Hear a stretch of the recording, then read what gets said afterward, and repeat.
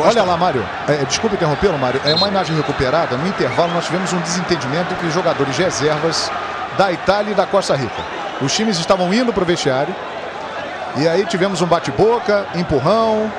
Você vê ali o pessoal de colete, a maioria ali os reservas. O Cesare Prandelli apareceu no meio da turma. Turma do Deixa Disso. O clima esquentou na ida para